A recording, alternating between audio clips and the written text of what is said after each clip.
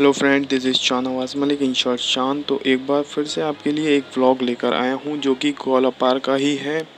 आप लोगों ने पिछली बार देखा होगा तो उसमें व्यू क्लियरली नहीं दिखा पाया था मैं, क्योंकि फ़र्स्ट टाइम वीडियो बनाई थी तो लोग मुझे देख रहे थे। इस वजह से मुझे थोड़ा वियर्ड फील हो रहा था। यही प्रॉब्लम रही। तो इस बार ऐसा कुछ नहीं है।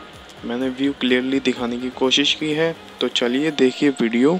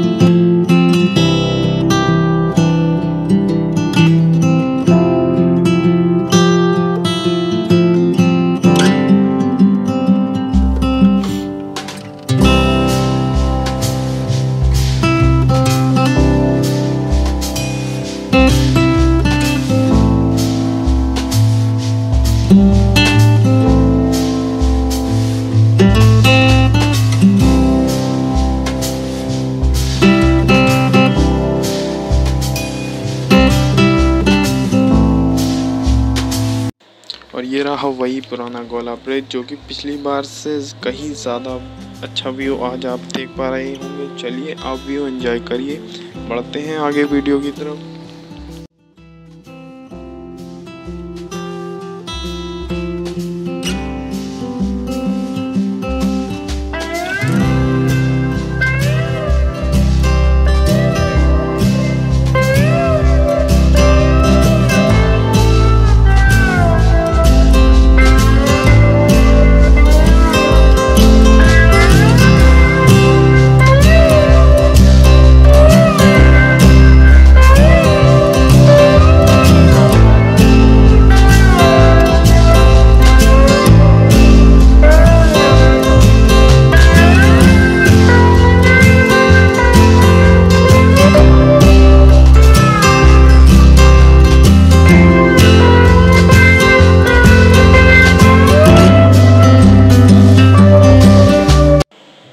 पिछली बार हम इस वाले रूट से गए थे और ये वाला स्टेडियम का रूट है, जो कि हम स्टेडियम देखकर वापस आ गए थे। तो इस बार इसी रूट से हम आगे जाएँगे और आगे से घूम के वापस आएँगे। चलिए, बढ़ते हैं आगे।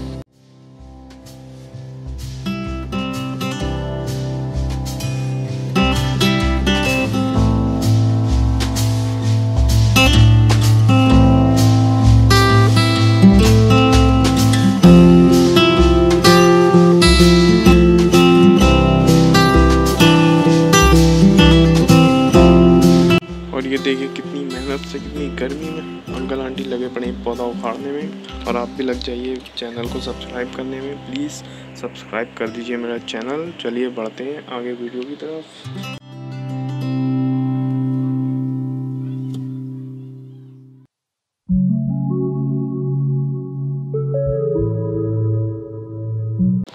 तो ये रहे छोटे वाले स्टेडियम जो कि छोटे गेम्स के लिए हैं, जैसे बास्केटबॉल एंड टेबल टेनिस। जो भी छोटे गेम्स होते हैं, उनके लिए लगभग दो तीन स्टेडियम बने हुए हैं ये लाइन से। एंड ये रहा अपना बड़ा वाला स्टेडियम जो कि क्रिकेट के लिए होता है बट इसमें अभी तक क्रिकेट हुआ नहीं है। इसमें एक बार फाइट हुई थी खली भैया की, जो कि मैंने बताया था पिछली बार। बुरी तरह से हार के गए थे। चलिए बढ़ते हैं आगे।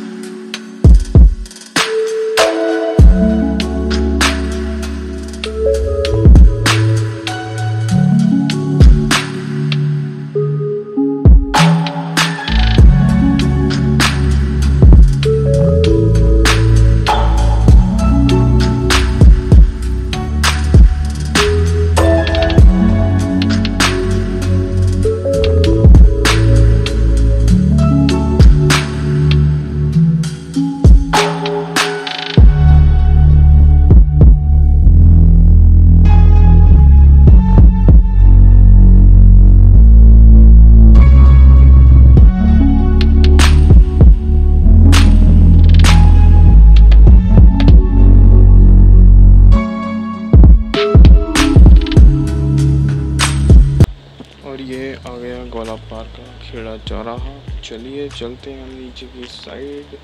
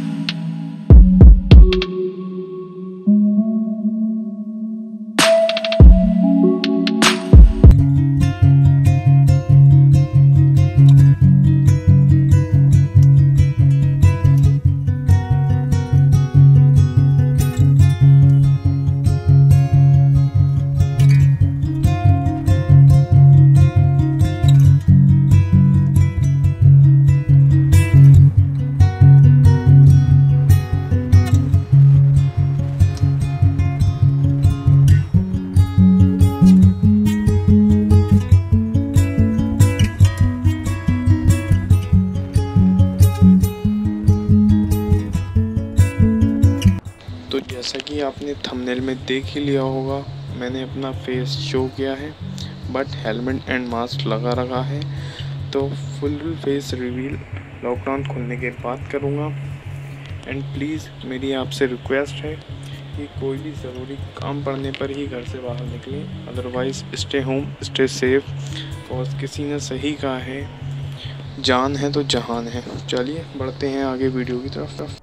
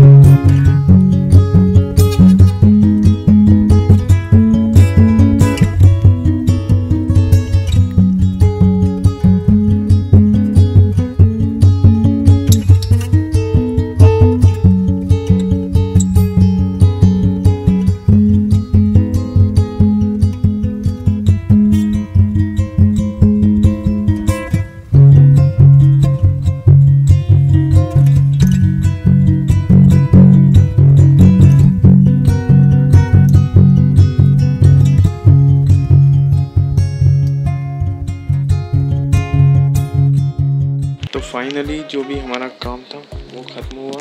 तो चलता हूँ घर की तरफ़ एंड आप वीडियो देखते रहिए।